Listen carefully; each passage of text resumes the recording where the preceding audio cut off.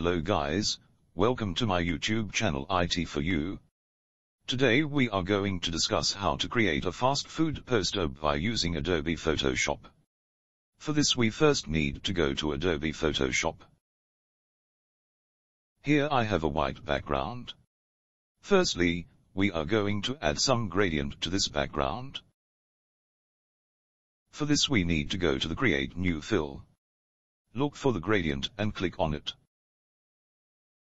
Now look for the Style drop-down and change it to Radial. Now go to Select Color of Gradient. Set its color according to your requirement. Here I am going to use combination of red and maroon. Now I am adjusting its opacity to 100%. So now here we have attractive looking background. Now go to the pen tool and select curvature pen tool. Now make sure to select shape from its properties. Now select its fill, I am selecting here yellow, but you can select color according to your requirement. Now follow the step and start drawing a shape with curvature pen tool. So here we created a shape with a yellow color which look like a design. Now select gradient layer, and create a copy of it by pressing Ctrl plus J. Now select the copy of gradient layer, and the layer of shape you have created, and press Ctrl plus E to merge them. Now go to Filter and look for Filter Gallery, and click on it. Now you can select some filter from here according to your requirement. I am going to select sprayed stroke here. Now set its stroke length and spray radius according to your requirement. Now we have done with the background, and now we are going to add some image and text here. Now here we have a picture of pizza, and I am going to drag it on my background. Resize your image by pressing Ctrl plus T, and adjust the size of image according to the background. Here we go, I have adjusted the image according to my requirement. Now I going to add some shadow of this pizza.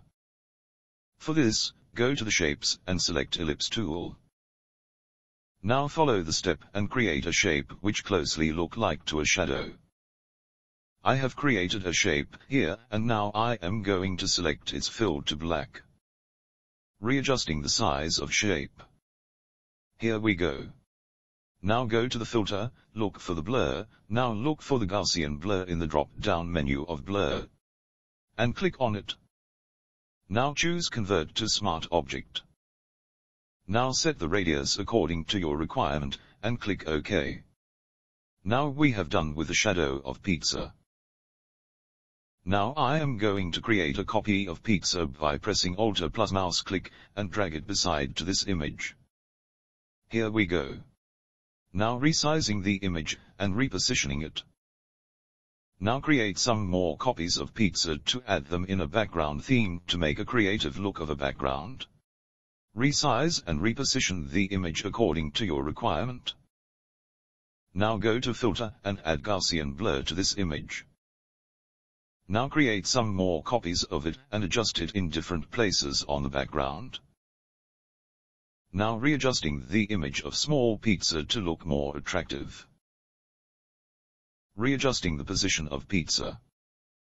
Now I am going to add some drop shadow to a small pizza to avoid their color dissolving in each other. Adjust the parameters of drop shadow according to your requirement. And then click OK. Here we go. Now we are going to add some text layers on it. Now I am going to create a heading of this poster. Resizing and readjusting the heading. Now adding some more text. Now resizing and readjusting it.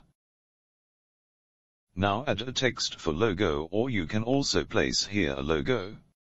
In my case I am adding a text reflects as a logo. Now resizing it and set its color to white. Now adding some more necessary details which is required on a poster. Here we go. Our creative fast food poster has now been created. Hope you liked the video. Thanks for watching. For more related videos comment us on comment box. And must subscribe the page. Have a nice day.